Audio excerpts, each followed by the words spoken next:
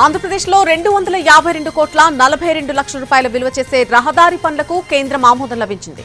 ఈ విషయాన్ని కేంద్ర మంత్రి గడ్కరీ సోషల్ మీడియా వేదికగా ఎక్స్ ద్వారా తెలియజేశారు. ఇందులో రణస్థలం నుంచి శ్రీకాకుళం వరకు ఆరు లైన్ల ఎలివేటెడ్ కారిడార్ అభివృద్ధి ఆధునీకరణ గురించి కూడా ఉంది.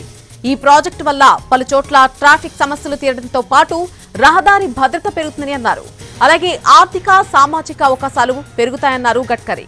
తద్వారా ఆ ప్రాంతానికి చెందిన వాళ్ళ జీవితాలు మెరుగుపడతాయన్నారు.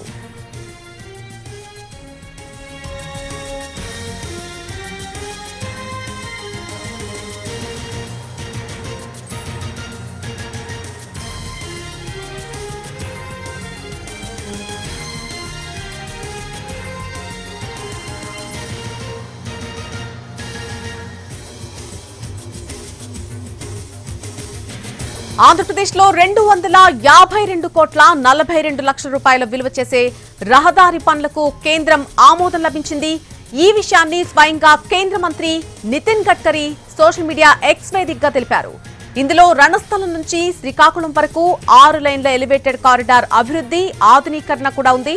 ఈ ప్రాజెక్టు వల్ల పలుచోట్ల ట్రాఫిక్ కష్టాలు తీరడంతో పాటు రహదారి భద్రత కూడా పెరుగుతుంది. అలాగే ఆర్థిక సామాజిక అవకాశాలు పెరుగుతాయన్నారు గడ్కరీ.